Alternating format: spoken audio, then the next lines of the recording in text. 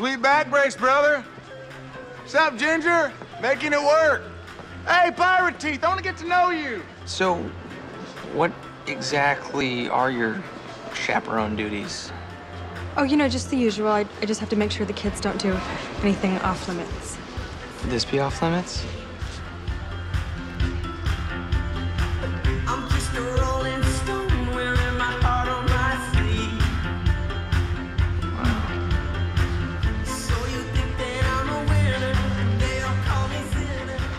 Do the rounds. Don't go far, okay? I won't. Put your head in mine, baby, 'cause tonight there is only you, there is only me. Together we're a lighthouse in this raging sea.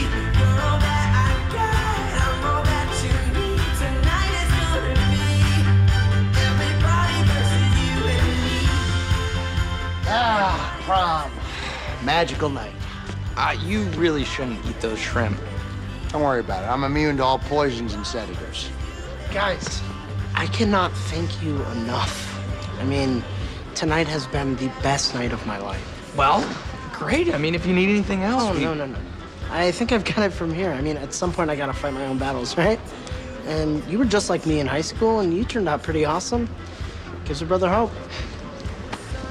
I gotta say, helping Leslie out, it's turned out to be quite the job. I mean, I'm back at my old high school. I met a girl I like, and I'm finally over Melanie. Yeah, pretty amazing quinky dink.